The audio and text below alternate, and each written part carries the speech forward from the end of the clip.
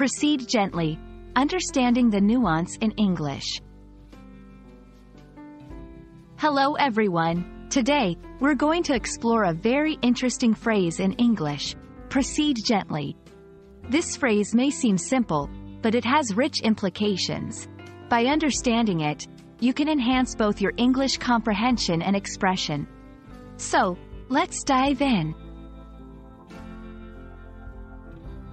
Proceed gently is a phrase that combines two words, proceed, which means to move forward or continue, and gently, which implies a soft, careful, or kind approach.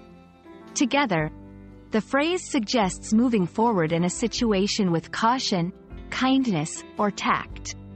It's often used in contexts where sensitivity or care is important.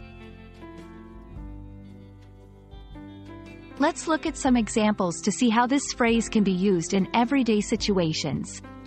1. In a conversation, when you talk to her about the issue, proceed gently. She's very sensitive about it. 2. In instructions, when handling these delicate items, please proceed gently to avoid damage. Understanding synonyms can help deepen your comprehension.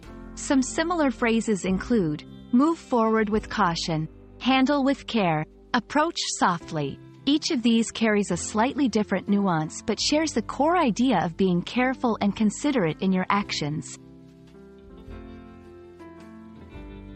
Incorporating proceed gently into your communication can make it more nuanced and empathetic. It's particularly useful in sensitive or delicate situations, where you want to convey that you are being thoughtful and careful. And that's a wrap on Proceed Gently.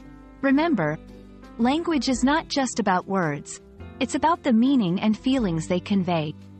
By using phrases like this, you can communicate more effectively and empathetically. Hope this lesson has been helpful, and see you in the next one.